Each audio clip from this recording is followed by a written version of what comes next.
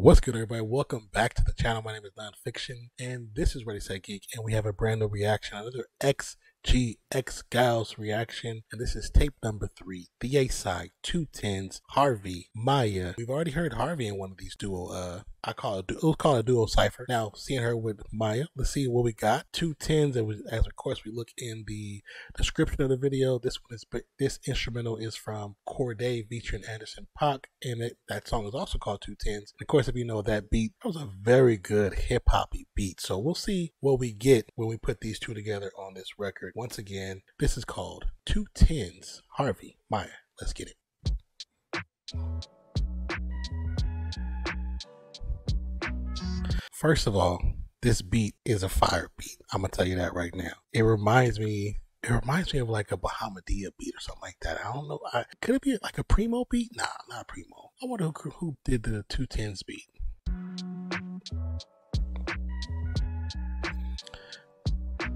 Two twins both tens on the mic. Two little Asians, like what's all the hype?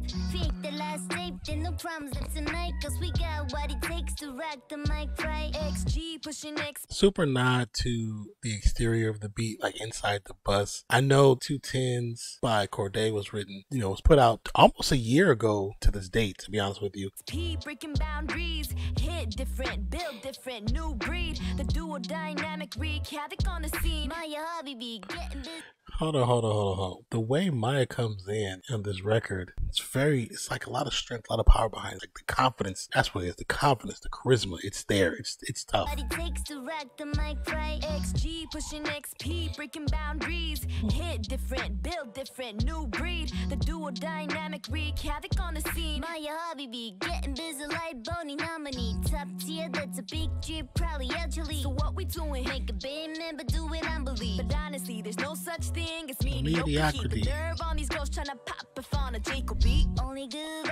Okay, I was thinking that was a thought in my head, but I wasn't sure. So it is J. Cole beat. Okay, for sure. Thank you, Maya. Vibes, none of the negative energy. I can do these souls, ain't no cap till infinity. I tell her she can she demo, show she wants to. Stick with the shots, the You know, when people, I know I'm, I'm pausing, sorry. When people dislike music that's not from America, America, I'll say when Americans dislike it, I don't get it. What's so different and so cool is that they can flip from English to their native tongue into another language and back to English flawlessly and still be on beat and still carry the tone and carry the record and it still look like they just doing a damn thing. You gotta give props to that because that's so damn fire Like down wig when I'm killing it. Stats stacking immaculately, super saiyan slaying it. My target로 level 쓰고 투기 not a lazy. So simple. We don't sleep on bars or wordplay. 마치곤 사기 kid. We don't sleep on bars. Okay, I like that. Yeah. twins and we both teens on the mic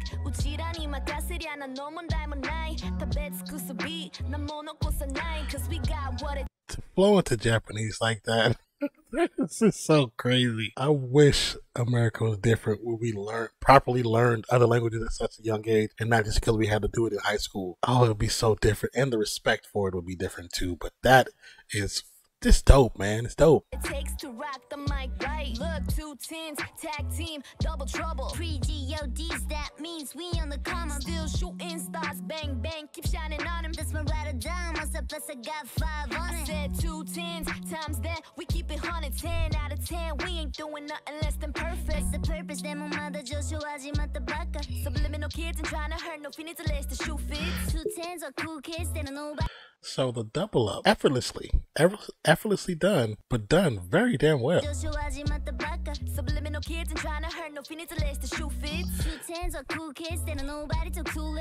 I would have liked if she did it more. Okay, she's still doing it. Okay.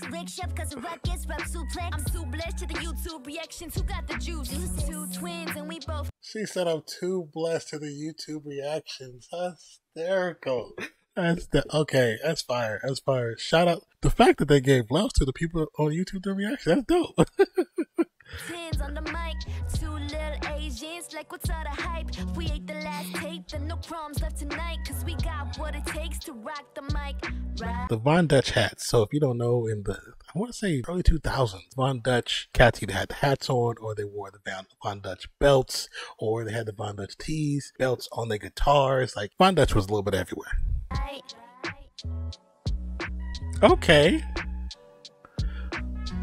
It's so funny to see the charisma, like like not charisma, but the um oh the cohesiveness of the two when it's just two of them on a record.